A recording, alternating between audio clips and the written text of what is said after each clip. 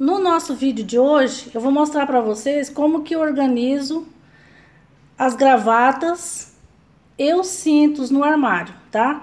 Aqui estão as camisas que eu já mostrei para vocês, né? Aqui do ladinho ficam os cintos. Eu penduro tudo num cabide assim, ó. Coloco tudo num cabide. Fecho eles aqui embaixo, ó. E ponho aqui pendurado. A mesma coisa as gravatas. A gravata, eu, eu, eu consegui esse, esse cabidezinho. Ó. Esse cabidezinho aqui. Aí eu penduro nesse cabide aqui, tá? Tem dois cabides de gravata aqui. É muita gravata. Mas eu vou dizer pra vocês por que tem tanta gravata aqui. É assim. Quando a pessoa usa gravata, sempre quando tem um amigo secreto uma festinha, que tem que dar um presente. Sempre as pessoas dão uma gravata, né? Então aí vai juntando, porque gravata demora muito para acabar uma gravata. O pessoal usa muito tempo uma gravata e aí vai aumentando, né?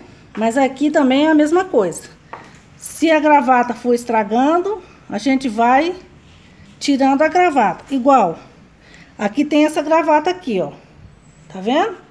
Essa gravata aqui tá estragada. Essa gravata aqui eu já vou, deixar ela aqui para mostrar para vocês. Essa daqui eu já vou retirar. E essa gravata aqui já vai ser... Eu vou ver se dá para consertar. Se não der para consertar, ela já vai ser eliminada. Tá bom? Ficam só as gravatas boas. Tá bom? Um abraço. Até o próximo vídeo. Eu espero que vocês estejam gostando dos vídeos, né? É, se você estiver gostando, deixe seu joinha.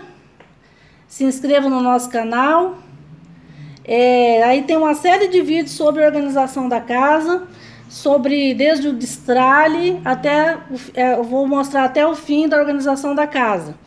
Que é para você organizar a sua casa e trabalhar menos no dia a dia, né? Economizar dinheiro e tempo e ser feliz. Um abraço, até o próximo vídeo.